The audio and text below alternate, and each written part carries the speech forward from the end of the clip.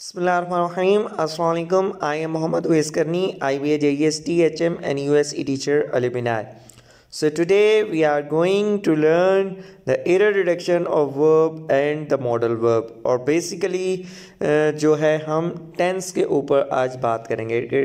While you are dealing with the question of error detection uh, which things you have to keep in your mind that you will uh, easily uh, detect the error in the sentence. तो जी आज का पहला जो हमारे पास error deduction है वो क्या कहता है? A past tense in the main clause should be followed by the past tense in the subordinating clause तो जी मेन क्लॉज और सब ऑर्डिनेटिंग क्लॉज एक होती है कोऑर्डिनेटिंग क्लास और एक होती है सब ऑर्डिनेटिंग क्लॉज आपको याद है कुछ आ रहा है हमने पढ़ा था types of sentence based on structure के अंदर ठीक है? Types of sentence based on structure के अंदर। तो आपने मुझे ये बताना है कि जिस भी एक है हमारे पास मेन क्लॉज मेन क्लॉज के साथ आपके पास आ रहा है सब ऑर्डिनेटिंग क्लॉज यूज़ हो रही है। तो वो जी आपका आ, कौन सा सेंटेंस बनेगा? कंपाउंड सेंटेंस बनेगा या कॉम्प्लेक्स बनेगा? दूसरे बात आपकी है मेन क्लॉज और उसके साथ आपकी यूज़ हो रही है कोऑर्डिनेटिंग क्लॉज तो कोऑर्डिनेटिंग क्लॉज के साथ आपका कंपाउंड सेंटेंस बनेगा या कॉम्प्लेक्स बनेगा। सिंपल सी बात है जी कोऑर्डिनेटिंग के साथ आपका कंपाउंड सेंटेंस बनेगा और सब ऑर्डिनेटिंग सब ऑर्डिनेटिंग के साथ आपका कॉम्प्लेक्स सेंटेंस बनेगा। ठीक है जी ये हमने पढ़ा था आ, हमारा जो तकरीबन तीसरी या चौथी वीडियो है उस या लेक्चर है थर्ड और फोर्थ उसके अंदर हमने ये टॉपिक क्लियर किया हुआ है। काइंडली जी पिछले लेक्चर्स को आप बहुत अच्छे तरीके से देखिए क्योंकि ये सारी वीडियोस पिछले लेक्चर्स के ऊपर डिपेंड कर रही हैं। अगर किसी को भी ए, कोई चीज़ समझ नहीं आई है तो काइंडली पिछले लेक्चर्स को जाके देखिए आपके सारे कॉन्सेप्ट क्लियर हो जाएँगे। अब ये हमें रूल क्या कह रहा है? A past tense in a main sentence in a main clause should be followed by a past tense in the subordinating class अगर मेन क्लॉज के अंदर पास्ट टेंस है तो सबऑर्डिनेटिंग क्लॉज के अंदर भी पास्ट टेंस आएगा। You can not use the other tense of the sentence मतलब आप सेंटेंस uh, के uh, अलावा कोई दूसरा सेंटेंस यूज़ नहीं कर सकते। मिसाल के तौर पे किस तरह जी? ही सॉ दैट उसने देखा that the clock has stopped अब जी सॉ जो है वो पास्ट है और जो हैज़ है वो क्या है? प्रेजेंट परफेक्ट है। तो ये तो गलत हो गया ना। ही सॉ जो ही सॉ है ये आपके पास क्या है? शाबा जी ही सॉ यहाँ पे क्या है? ही सॉ यहाँ पे मेन क्लॉज है। ठीक है जी? That the clock had stop अब हैड यूज़ होगा क्योंकि ये है पास परफेक्ट ठीक है? पास परफेक्ट यूज़ होगा। ऐसे नहीं है। पास uh, सिंपल के साथ आप प्रेजेंट परफेक्ट यूज़ कर रहे हैं। पास सिंपल के साथ पास परफेक्ट यूज़ होगा। अब मेरा आपसे एक ये सवाल है यहाँ पे दैट क्या है? रिलेटिव प्रोनाउन है। दैट यहाँ पे रिलेटिव प्रोनाउन है या नहीं? शाबाश, थोड़ा सा ज़ोर दें दिमाग के ऊपर। जी दैट यहाँ पे रिलेटिव प्रोनाउन नहीं है। दैट यहाँ पे क्या है? दैट यहाँ पे कंजक्शन है। कंजक्शन कौन सा है? सब ऑर्डिनेटिंग कंजक्शन ठीक है? कोऑर्डिनेटिंग कंजक्शन कौन से हैं?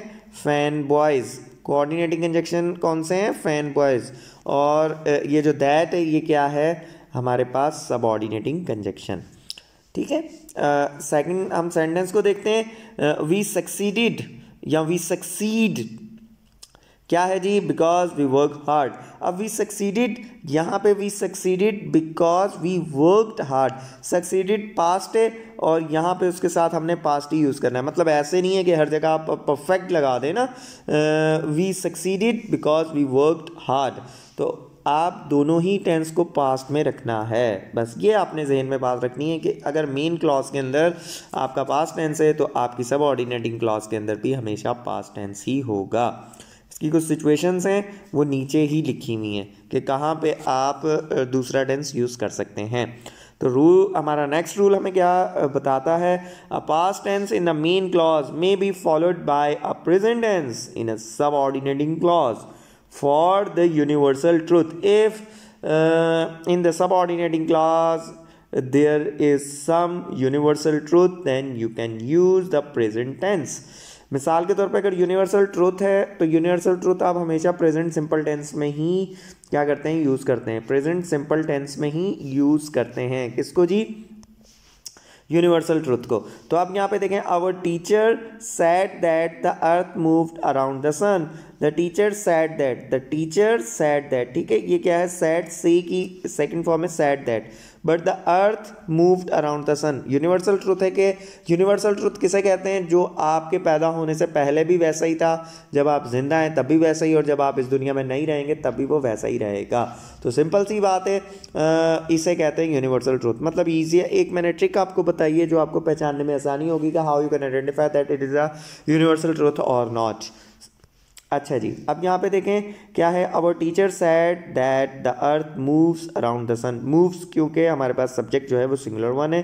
That's why we are putting S in the verb second example देखते हैं my mother told me that the sun rose in the east मेरी अम्मी ने मुझे बताया था कि सूरज कहाँ से निकलता है? मशरक से निकलता है। तो सूरज मशरक से हज़रत आदम से लेके निकल रहा है और आखिरी क़्यामत तक निकलता रहेगा।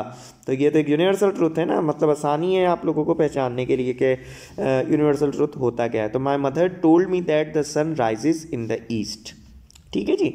ये वाला कॉन्सेप्ट क्लियर हो गया होगा आपको। अब हम आगे चलते हैं। आगे क्या है? रूल नंबर हमारा जो नेक्स्ट रूल है, वो कहता है कि जी in present perfect continuous tense and action from past which still continue in present is talked of use at verbals of time since और फॉर ठीक है? लास्ट टाइम मैंने आपको बोला था देन और देन दो अलग अलग देन है, आपने बताने के जी ये पार्ट्स ऑफ़ स्पीच में है क्या? आज मैं आपको कहता हूँ सिंस और फॉर के बारे में आपने बताना है कि सिंस और फॉर हैं क्या पार्ट्स ऑफ़ स्पीच के अंदर? पार्ट्स ऑफ़ स्पीच के अंदर सिंस और फॉर हैं क्या? ठीक है जी? ये आप लोगों ने मुझे बताना है कहाँ पे जी मेरे व्हाट्सअप नंबर के ऊपर। लाजमी तौर पे बताना है, ठीक है कि आपको टेस्ट में काम आ सकते हैं सेंस और फॉर हैं क्या? इसके ऊपर मैं एक अलग से वीडियो भी बनाऊँगा जिसके अंदर मैं एक्सप्लेन करूँगा कि सेंस और फॉर असल में आपके पार्ट्स ऑफ़ स्पीच में क्या क्या यूज़ होते हैं। ये मोर देन अ सिंगल जो है पार्ट्स ऑफ़ स्पीच होता है। बरल now we are talking about the present perfect continuous tense तो वहाँ पे जी आप सेंस और फॉर किस तरह यूज़ करते हैं? मिसाल के तौर पे जी, जब आप बात कर रहे हो कि आपने पास टाइम में कोई काम करना शुरू किया था और आप अभी तक वो काम कर रहे हैं then you can use the past perfect continuous tense I lived here since 1980 मैं, हम यहाँ पे 1980 से रह रहे हैं so I know everything about the city अब करेक्ट सेंटेंस क्या होगा? I have been living since one one ninety eighty मतलब उन्नीस सौ अस्सी से हम लोग यहाँ रह रहे हैं। So I know everything about the city तो इस वजह से मुझे uh, जो सिटी के शहर की हर चीज़ के बारे में पता है। यहाँ पे जी आपने देखना है क्या यूज़ हुआ है? सेंस यूज़ हुआ है। और ये सेंटेंस कौन सा है? कंपाउंड है या कॉम्प्लेक्स है? शाबा जी ये सेंटेंस कौन सा है? कंपाउंड है या कॉम्प्लेक्स है? ये जी कंपाउंड है, क्योंकि फ़ैन बॉयज़ में से एस आ रहा है दैट्स वाई ये हमारा कंपाउंड सेंटेंस है। अब जी हम आगे चलते हैं। मैं आपको लास्ट में बताता हूँ कि वेयर आपने सिंस कहाँ यूज़ करना होता है और फॉर कहाँ यूज़ करना होता है। आप कैसे आइडेंटिफाई कर सकते हैं कि कहाँ पे सिंस यूज़ होगा और कहाँ पे फॉर यूज़ होगा। बट हम पहले इरर डिटेक्शन को कर लें, फिर मैं आपको ये भी एक्सप्लेन कर देता हूँ साथ ही साथ। I am working here for the last ten years I am working here for the last ten years तो आई एम क्यों यूज़ हो रहा है जी? जो फॉर है, वो प्रेजेंट परफेक्ट कंटिन्यूस या प्रेजेंट परफेक्ट टेंस में यूज़ होता है। परफेक्ट टेंस में लाजमी तौर पर यूज़ होता है, ठीक है जी? I have been working I have been working here for last ten years simple सी बात है परफेक्ट कंटिन्यूस हमने यूज़ करना है। अब जी रही बात कि आपको कैसे पता चले कि कहाँ पे सेंस यूज़ करना है और कहाँ पे फॉर यूज़ करना है। सिंपल सी ट्रिक है काइंडली जी इसको गौर से देखिएगा। देखिए, मिसाल के तौर पे मैंने रहना शुरू किया। आज इसको, आप इसको हटाएँ और यहाँ पे लिखते हैं टू ज़ीरो टू टू। ठीक है जी? Two zero two two. आज से हम जो है ना, मैं यहाँ पे रहना शुरू करता हूँ या हम यहाँ पे रहना शुरू करते हैं। और जी, बीस साल गुजर जाते हैं। अब हम हैं कहाँ पे जी? टू ज़ीरो फोर्टी के अंदर। टू ज़ीरो फोर्टी के अंदर हैं अब हम। अब हम टू ज़ीरो फोर्टी के अंदर कह रहे हैं कि I have been living I have been living since 2022 so, I know everything about the city. ठीक है? अब अगर यहाँ पे टू ज़ीरो फाइव ज़ीरो भी हो जाएगा, तब भी आपका यही सेंटेंस रहेगा। ठीक है? I have been living since two twenty two ये जो सेंस है, ये आपका वक्त गुजरने के साथ चेंज नहीं हो रहा। ठीक है? इसी तरह टू सेवेंटी तक चले जाएँ टू एट्टी तक चले जाएँ, आपका ये सेंटेंस बिल्कुल यूज़ होता रहेगा। बट जी, फॉर का केस क्या है? अब आपने बताना है कि मैं यहाँ पे कितने सालों से रह रहा हूँ। मैं यहाँ पे कितने सालों से रह रहा हूँ। तो अब आप, ये मैं बता रहा हूँ कि जी, मैं पिछले दस सालों से यहाँ रह रहा हूँ। अब मैंने रहना 2020 में ही शुरू किया है। मैंने रहना 2020 में ही शुरू किया है और मुझे दस साल गुजर गए। अब मैं यहाँ पे लिख रहा हूँ टू थर्टी। ठीक है? अब मैं बता रहा हूँ I have been living here यहाँ चले जी वर्किंग को ही देख लें। I have been working here for last ten years अब वक्त गुजरा, हुआ जी टू फोर्टी तो क्या ये सेंटेंस सेम रहेगा? नहीं जी, ये टेन किसमें चेंज हो जाएगा? ट्वेंटी में चेंज हो जाएगा। I have been working here for last twenty years अगर ये टू फिफ्टी में जाएगा। तो यहाँ पे क्या होगा I have been working here for last thirty years but ji since के सेंस में क्या था? सिंस के सेंस में जब जो आपका टाइम गुजरता जा रहा था, मगर आपका जो सेंटेंस है, उस पर कोई फ़र्क नहीं पड़ रहा था। अब ये तो आपको बात आ गई समझ में कि आपको पता कैसे चलेगा कि जी कहाँ पे सेंस यूज़ करना है और कहाँ पे फॉर यूज़ करना है। एक और इसकी एग्जांपल दे देता हूँ, साथ ही मैं आपको। मिसाल के तौर पे जी आप पढ़ रहे हैं सुबह से। कब से जी? मॉर्निंग से पढ़ रहे हैं। मैं यहाँ पे मॉर्निंग लिख देता हूँ। मॉर्निंग से पढ़ रहे हैं और अब बजे जी दस बजे। Your father come home and ask you what are you doing आप क्या कर रहे हैं? तो आप बोल रहे हैं I have been reading since morning ठीक है जी? उसके बाद ग्यारह बजते हैं आपकी अम्मी आती हैं और आपसे पूछती हैं बेटा वट आर यू डूइंग और आप बोलती हैं I have been reading since morning फिर आपके भाई आते हैं बारह बजे और आपसे पूछते हैं वट आर यू डूइंग आप यही कहते हैं कि जी I have been reading since morning वक्त गुजरने के साथ सिंस के ऊपर कोई फ़र्क नहीं पड़ता। बट जी अगर कोई uh, मेरे जैसा स्टूडेंट है जो जी पढ़ने के बाद फिर जी बताता है कि जी हमने जो है ना बहुत पढ़ लिया। कुछ होते हैं ना पाँच मिनट पढ़ते हैं और फिर जी बोलते हैं मैं पिछले पूरे दो घंटे से पढ़ रहा हूँ। अब यहाँ पे मिसाल के तौर पे दस बजते हैं और जो हमने मॉर्निंग हमारी मिसाल के तौर पे होती है सात बजे।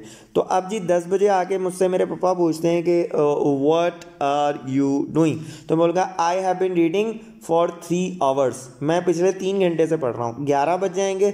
मेरी मम्मा आके मुझसे पूछेंगी व्हाट आर यू डूइंग तो मैं बोल रहा हूँ I have been reading for four hours. मैं चार घंटे से पढ़ रहा हूँ। इसी तरह ही बारह बज जाएँगे तो मैं बोलूँगा I have been reading for five hours तो सेंस और फॉर कहाँ कहाँ यूज़ करते हैं, आपको क्लियर हो रहा होगा। लास्ट पॉइंट बता दूँ, आपके जहन में आ जाएगी। सेंस के अंदर हम स्टार्टिंग पॉइंट बताते हैं। सेंस के अंदर हम क्या बताते हैं? स्टार्टिंग पॉइंट कि कहाँ से काम स्टार्ट हो रहा है। ठीक है? और फॉर ए फॉर के लिए हम पीरियड ऑफ़ टाइम बताते हैं कि कितना पीरियड हो चुका है ये काम करते हुए। सिंपल सी बात है। फॉर के लिए हम पीरियड ऑफ़ टाइम बताते हैं और सिंस के लिए हम क्या बताते हैं? स्टार्टिंग पॉइंट मैंने जी दोनों साइड से इसको बड़े आराम से क्लियर किया है। Hopefully the correct use of sense for आपको क्लियर हो जा, हो गया होगा बल्कि। आगे चलते हैं जी। लास्ट हमारा जो रूल है आज का मुझे जहाँ तक लगता है यही लास्ट रूल है। ठीक है? एटीन जो रूल है, वो दूसरा है, वो एडवर्ब का था बट ये एक साथ ही थे तो इस वजह से यहाँ पे एटीन नहीं लिखा हुआ है। स्टूडेंट ये ना समझे कि जी यहाँ पे एटीन मिस हो गया है। रूल हमारा लास्ट क्या कहता है? Two modal auxiliaries in a sentence must be join by and ठीक है? अगर एक सेंटेंस के अंदर you are using two auxiliaries verb then your auxiliaries is always join और ऑलवेज ज्वाइन बाय एंड मतलब एंड के साथ ज्वाइन होगी। We should must go to his office अब शुड और मस्ट दो मॉडल वर्ब्स हैं, दो अलग हैं, ठीक है? तो इस दो मॉडल वर्ब्स को ज्वाइन कौन करेगा? एंड करेगा। किस तरह? वी शुड एंड मस्ट हमें जाना चाहिए और लाजमी जाना चाहिए। कहाँ जी? इसके ऑफ़िस तो एंड यहाँ पे लाजमी लगाना है। इसी तरह you can may go out you can may go out ये किस तरह जी?